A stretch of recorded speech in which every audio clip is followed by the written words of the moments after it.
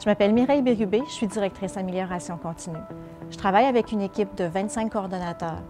Avec eux, on relève de beaux défis et puis on améliore les processus qui sont en place. C'est vraiment le fun de travailler avec des gens qui partagent les mêmes valeurs que moi.